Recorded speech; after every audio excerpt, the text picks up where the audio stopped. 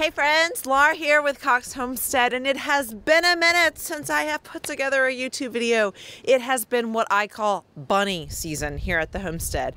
And essentially that means my busiest time of year because Easter's here and everybody celebrates the Easter bunny? Anyways, I take advantage of it. It works out in my favor.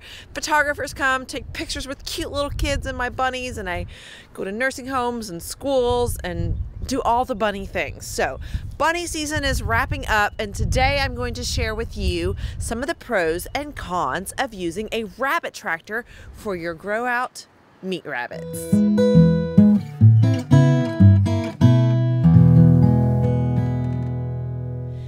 Today, I'm going to share with you something that happened at our March 4th, I think it was on the 4th, meat processing workshop. We have been growing out all these rabbits. We have people coming to the farm paying us a pretty good amount to teach them how to process rabbits.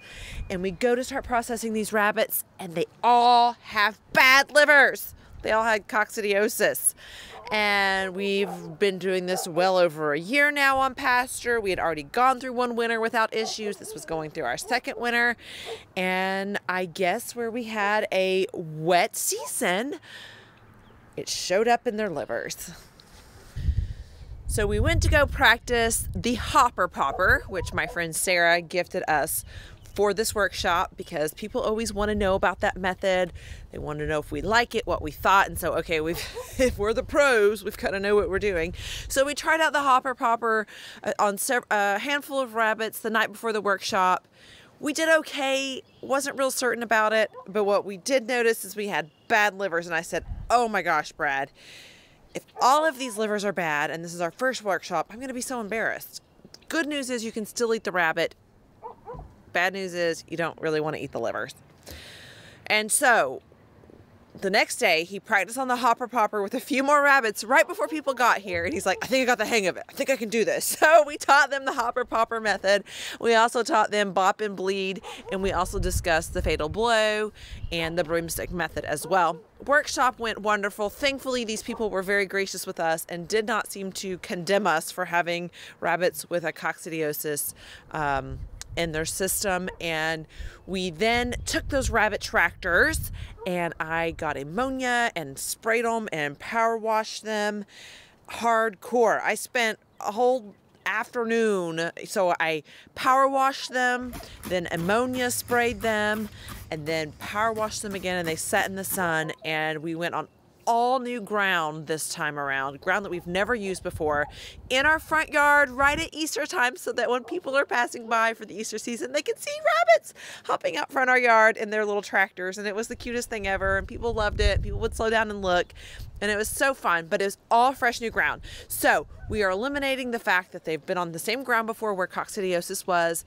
And I sanitized those tractors. So we're going to see if we can have success again with our rabbit tractor and it being a little bit warmer now, maybe that will help. What we think may have led to that because the rule when you have rabbit tractors is to not go over the same ground within six months of being on that ground before. And we had done that. We had followed the rules and we still ended up with coccidiosis. I think the problem was that it was a really wet winter. We only had like one hard freeze and it was kind of warm. It was kind of a warm winter. It was really wet and warm. It was weird weather. Whereas oftentimes when it's warm here in Tennessee, it's also dry. And so, anyways, that's all we can figure out to be. So we've sanitized, moved them to the front. We'll see what happens. But number one, biggest thing that can go wrong when using the rabbit tractors is coccidiosis and exposure to other diseases, not just coccidiosis, but anything they can pick up off the ground. That just tends to be the number one that you can.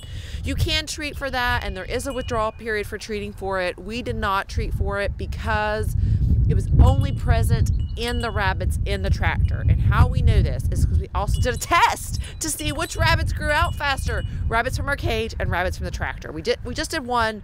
So is it a full test? Not completely. We will continue to test it. But we kept one rabbit in the cage and we put the rest in the tractor. We weighed them at the beginning. Uh, I'll share those weights if I can over top of this video. And then we weighed them right before processing and I'll share those pictures here. So the one in the cage weighed quite a bit more than the one that was on pasture. But once processed, there wasn't that huge of a difference in weight. Seems like the one in the cage carried maybe a little extra in their bladder and maybe, I don't know. I don't know why it was so much heavier. but once processed, they were very similar in weight, which really surprised us. Um, at first, I thought it was going to be so much better that they were being raised in the cage because we were getting more meat, but it wasn't necessarily that way. All right, so on to some other pros and cons of using the rabbit tractor. Number one was the coccidiosis. Number two, potentially different grow out rates. Also, our pasture is young. We are just getting these pastures developed, hopefully over time. Maybe that'll make for bigger grow outs too. Not sure, maybe.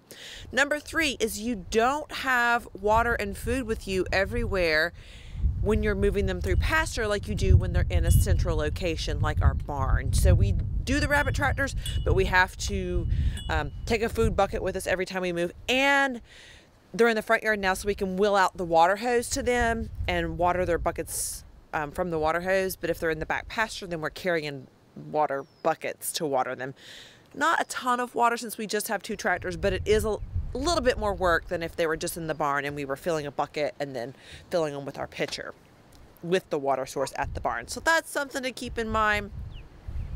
Um, in the tractor, they do get exposure to a lot different foods. So you're getting a, a fresh diet for them that's varied with different grasses and weeds or nutrient dense foods, if you will. Um, versus when they're in the cage, they typically just get pellet and hay. And I do pick grass for the ones in my cages as well. So, but that's an extra step. So if you're just comparing pure pasture to, um, pure in the cages, that's going to be a variant you face. And so it's also fertilizing your yard which is beautiful. I don't know if you can see all this lush green grass back here behind me that we basically need a rake because when he mowed it, it left a bunch of uh, grass there. It's grown beautifully and fast. And so that's why we moved ours to the front yard. Number one, the coccidiosis. Number two, to kind of get our front yard looking as good as our backyard so that when people drive by, they say, oh, look how green their yard is. And we be like, yeah, that's our rabbit. So you can do some awesome fertilization in your yard or your pasture. And I'm hoping that will increase their uh, food grazing what am I trying to say? Their diet even increase their diet over time with with with putting them on there more and some more poop coming out and more seeds coming out and um, getting a better diet for them. We have not done any overseeding on our pastures for our rabbits. I know when we visit Polyface, they had a lot of clovers and plantains and dandelions and a lot more varied in their field than we did. Uh, but I'm hoping we'll get there. I'm hoping we'll get some stuff in and maybe eventually it'll be some overseeding or maybe it'll just come in with time. We shall see. We're only about two years into the pasture raising, so we have time to uh, play with it before we know what our results are going to be from that. So you have, let's see, what do we say here? We said the risk of disease. You also have the risk of them climbing out, crawling out when they first go in. If you don't have your slats, the perfect spacing, which we have found to be about one and a half inch, I think, or one and three, one and three quarter inch spacing, maybe on those wooden slats in the bottom. They can dig out. We did lose a few this year to that. Um, eh, not these polyface rabbits haven't dug out at all, which is impressive to me. But that can happen. You could have something come along that with the dexterity to open it up and get in there, but you could also have something come along and get in your cages too, if they have good enough dexterity. But we've not had that problem. Um, and then with the watering buckets, I've noticed, especially having them in the front yard where we have trees, debris comes in there. So you might need to do something to protect that, put a lid on it or something um, to keep stuff from falling into your bucket. And I noticed even at Polyface there was a lot of stuff in their water. That's just kind of comes with it, um, unless you're daily dumping it and cleaning it out, which can happen. Uh, you could do that, or you can just let some stuff be in there and clean it out once a week, which is I'm doing it every few days. I'm dumping it, so it's not full of things clogging my my pipeline up. Really, that's the concern is it clogging your pipe and causing problems. So, in theory, Polyface teaches that putting your rabbits on pasture can save you about 70% in feed cost. That being said, we have not done the math ourselves. I will say we fill our J feeder completely up just once a day and we put up to 10 rabbits in there. And Brad said that could have affected our growth rate of these rabbits. I think Polyface does less rabbits than that. Um, I felt fine with 10 in there because that's what we had. I needed a place to put them. I think right now we have 10 in one tractor, 8 in the other tractor. So maybe we'll see then, you know, just a few less if we notice a difference in their grow out weights. We should we should compare them to see um, if there is a difference. I think it saves definitely on the feed, but then you lose the poop, which also is profit. So it just kind of cancels itself out for me. Um, right now, it's still fertilizing our lawn, making our lawn look beautiful, so I'm okay with it. Um, there may be a point in time where I like the money sold in poop better than I like my lawn fertilized. We shall see. Uh, we are about to start meat chickens, so we will then run our meat chickens behind it, so they'll get to dig through some of the rabbit manure as well, which is uh, a beautiful cycle to use up their waste. And I think overall, I enjoy the rabbit tractor because I feel like the rabbits get to hop around and be more rabbit like than in a cage for the last stint of their life. And I feel like they're digesting fresh grass that my body needs, um, which you do get grass in the pellet, but I like the fresh. I like that idea. So, and it mows our lawn for us too. um, slower rate than the lawnmower, but it still does. So there is several pros and some cons to using rabbits in the rabbit tractor. If you have any other pros and cons to growing your rabbits out in the tractor, leave them in the comments below. If you haven't already, make sure you hit that subscribe button, like this video, interact with me, let me know you're watching this. Um, let me know if there's something you want me to chat about in the future. This week on the homestead, I have an intern coming and we will be doing a rabbit room clean out again and planting the garden. Happy spring. We're almost to summer, folks. I don't know what that has to do with anything. But until next time, eat more rabbit.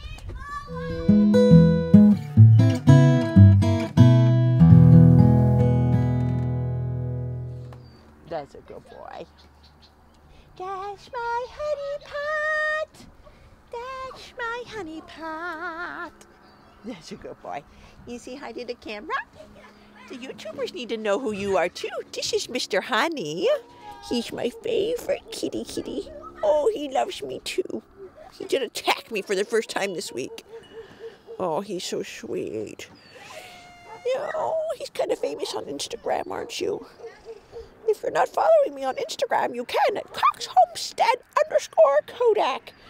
I'll show you lots of rat eating content.